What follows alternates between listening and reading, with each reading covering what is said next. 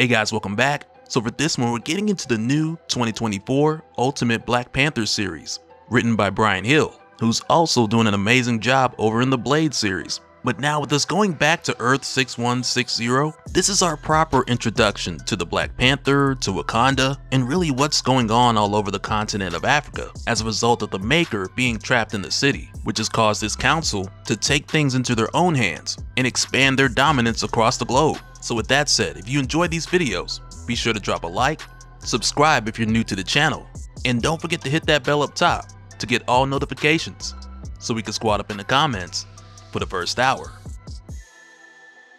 Alright, so starting this out, we begin in West Africa, where we see a group of workers who are just slaughtered by soldiers who are working for both Khonshu and Ra, who are actively claiming more West African territories in their name. Because back when we began our talks on Ultimate Invasion, which gave us our introduction to Earth 6160, it was here where we were first introduced to Khonshu and Ra as members of the Maker's Illuminati, with the two of these guys being the lords of the upper and lower kingdoms, which for the most part is your northeastern portion of Africa, as shown on this map located just above Wakanda. And right now with the Maker being locked away in the city, these two are expanding their dominance over the continent of Africa, showing no mercy to anyone who stands in their way. And we see that this is noticed by a couple of Wakandan spies, where one of them wants to jump down and help these people, but the other stops him and tells him no. Since Wakanda must stay in secret, the only thing they can do is report this to their king. So the two of these spies, they end up leaving and making their way back to Wakanda which is where we also head to next as we see King T'Challa waking up from a disturbing nightmare. And with how this is done, we're given something very different early on, because right out the gate we're shown that King T'Challa is married to Okoye, and it's a fresh take that I'm really digging. Because from what we're shown, she still has the background of being the former general of the Dora Milaje, but now as Queen of Wakanda, her position is their high mentor. So for that reason, we'll see that she's very aware of certain things concerning the Dora Milaje, which we'll talk more about in a little bit. But one thing to know about Okoye early on is that she stands firm on the traditions of Wakanda. While T'Challa on the other hand, he believes that these traditions must change. And we'll learn more about what he believes must change throughout this first issue as well as over the course of this series. Because for T'Challa, as King of Wakanda, he's bound to his traditions and he doesn't believe that the ways of old are going to do his people any good going forward. And just moments later will we see him make his way to the Citadel of Knowledge to speak with his father T'Chaka, who's also the former king and T'Challa's mentor. Right here, even though we're shown his father is very much the traditional type, even with that being the case, he still listens to his son. He recognizes T'Challa as king and he offers him advice in a way that supports how T'Challa thinks rather than trying to force him to be more traditional. And you'll see more of what I mean as this conversation plays out. Because initially T'Chaka asks if T'Challa is still being plagued by these dreams, and T'Challa responds by saying that they're just dreams, but his father believes that these dreams could be the gods trying to speak to T'Challa. And the reason that he's plagued by them is just because he won't listen. So T'Challa tells his father perhaps the gods should make their wishes more clear, which again, you can tell from the start of this conversation that it's playing out like a bit of the old ways versus the new. But at no point is T'Chaka trying to force the old ways down his son's throat, but instead it just comes to the point where his father asks him if the king has come here to actually listen to his advice. So T'Challa makes it clear that being the king changes nothing, and he'll always be in the shadow of his father's wisdom. So right away T'Chaka tells him to speak to the divine mother of the Vodou Khan, which on the surface might sound like a bit of force feeding of the tradition, which is why initially T'Challa gives a little pushback because he tells his father that she just wants his servitude, almost like a puppet, under her beliefs and superstitions. But T'Challa does not trust the Vodou Khan or their ways, and he even goes as far as to say that he believes Wakanda should be free of them completely and I really like what T'Chaka tells him in this conversation, because first he tells T'Challa no, he shouldn't trust them, but he needs to recognize their power and hide his intentions because they can sense his doubt. Because the smart thing for T'Challa to do right now is to go and see the mother of the Vodou Khan, tell her about his dreams, and that'll show them that he'll listen. Because going forward, T'Challa needs to keep the Vodou Khan close until he decides their fate, because one should only know that they're an enemy of the king after they're destroyed which again is great advice from a father to a son, from a former king to the current king, because he's not trying to force his ways on T'Challa, but instead he's teaching T'Challa how to move forward with what T'Challa believes that he should do. So T'Challa ends up going over to the temple of the Vodou Khan to meet up with the Divine Mother, who's also referred to as the Sacred Mother of the Vodou Khan, Matron Imala. And after telling her of his dream of pain and suffering, she asks what did that teach him? And he tells her, I learned from books, not dreams. So she says, you underestimate dreams, King T'Challa. And he tells her, the Vodou Khan underestimates me. I am not my father, Matron Imala. Which, right away, you can tell this is a conversation that T'Challa didn't want to have. And the only reason he's here is because his father suggested showing up and playing nice as a way for T'Challa to keep them unaware of the fact that he wants to get rid of the Vodou Khan as far as their influence on his throne. And for a moment here, it almost seems like Matron Imala is somewhat aware of T'Challa's true intentions, because for a moment she just starts to go on about how the Vodou Khan has served Wakanda since its birth and how it's been their connection to the gods. And in a way to prove that they also want to offer this to him, she informs him that in meditation they have sensed violent enemies in their midst, as well as enemies outside their walls, as she goes on to warn him that he should trust no one because his dreams are a warning. The gods are on his side, but gods can be fickle. And hearing this just has T'Challa telling her that he won't be paralyzed by paranoia, because it almost sounds like she wants him to be in fear of everyone since he can't trust anyone. But that's not the case, because she tells him, do not choose fear, choose awareness, which is also some good advice and it lets T'Challa know that Matron Amala has his back. And later on, when we head over to the royal court, we see that the two spies from the beginning of the story have made their way back, bringing their report to T'Challa about Khonshu and Ra slaughtering people in West Africa and taking their land. And one of the spies even makes the suggestion that they marshal a small group of warriors, including some of the Dora Milaje, to head back out there and hunt down these marauders. But King T'Challa shoots this idea down, simply by saying, I take information from spies, not strategy. You are dismissed. Thank you.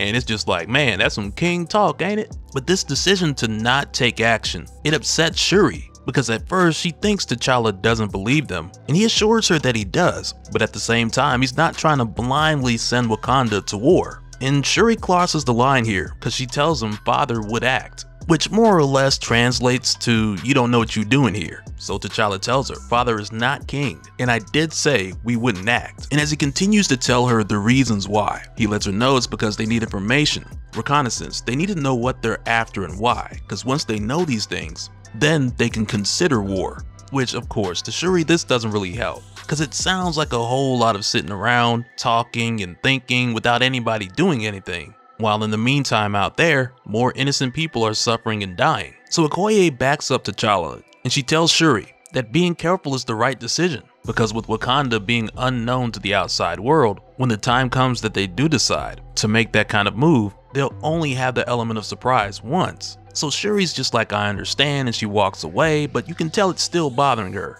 And after she leaves, T'Challa thanks Okoye for having his back, but she tells him there's no need to thank her because she truly believes this is the right decision. And for T'Challa, with him seeing how Shuri responded to all this, he believes that his sister truly wants to go to war. But Okoye tells him that's not true. The Dora Milaje want war, and they want Shuri's genius to help them wage it. Because the only people who fear peace are soldiers, because when there's peace, they have no purpose. And this is something that Okoye is well aware of, and not just about soldiers in general, but also about the Dora Milaje as far as how they feel and what they want, with her being their high mentor. And after this, we follow Shuri outside of the royal palace, where now we see her having a conversation with the Dora Milaje captain of arms, Abeni, who for a moment here asks Shuri, how does it feel to see her mind laid before her? Which is really Abeni referring to Shuri's technological achievements on display all around them. But in response, Shuri's just kind of like, meh, it feels like all of it could do more. And right away, Abeni can tell that Shuri is referring to beyond Wakanda, which as we know, that would lead to the outside world knowing who they are. And this takes me to one of the things that this series has had me thinking early on. Because with Earth 6160 being manipulated by the Maker, who used time travel to get rid of all the superheroes, you'd think he would have gotten rid of the Black Panther as well, or at least hindered the advancements of Wakanda to some extent. Because even though the people of this Earth aren't aware of the advancements in Wakanda, the Maker should be. But I imagine because of his injury and his memory loss, it's possible that this may have caused him to overlook the Wakanda of this world, but I'm not sure if that's exactly why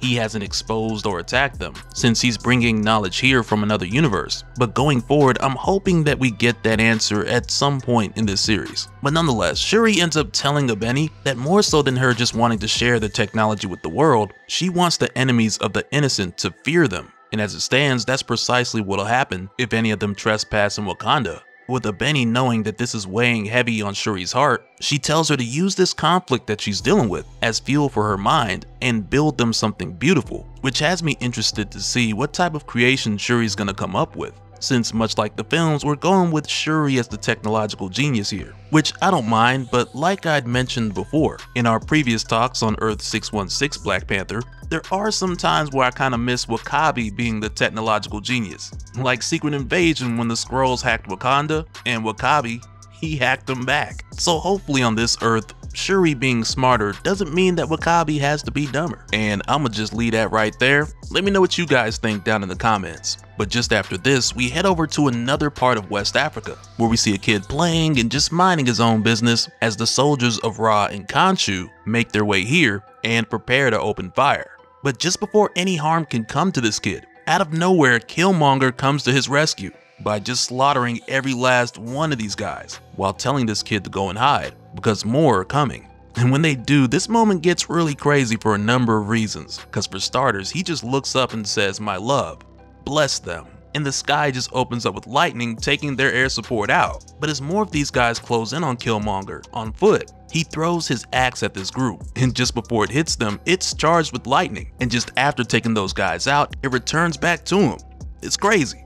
And he goes on to tell the people of this village that their gods and hidden kingdoms will not protect them, but Killmonger and the Wind Rider will, which is a crazy introduction that we're given here for Killmonger and his love interest, the Wind Rider, who I'm pretty sure is Storm, since she's gone by that name before. And it's just another one of these things in this story that has me super eager to learn more about both of these guys and how the axe came back and how these two even got together, which will probably be a story that tells itself if we end up seeing that a young Storm met Killmonger before Xavier.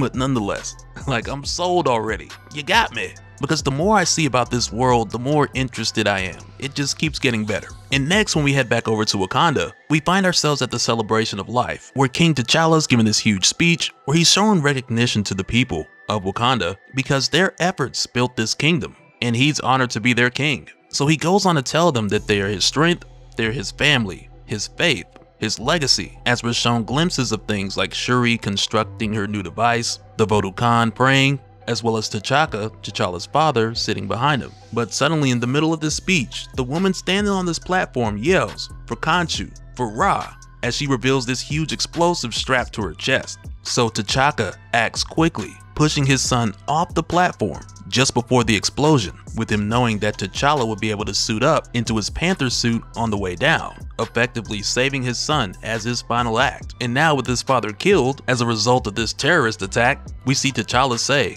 call the queen, and my sister, and the Voodoo Khan. Our enemies call themselves Moon Knight. Wakanda is at war. Cause for King T'Challa, now that his father's been killed, he's no longer trying to play it safe. And pretty soon this world is gonna get to know Wakanda and the Black Panther.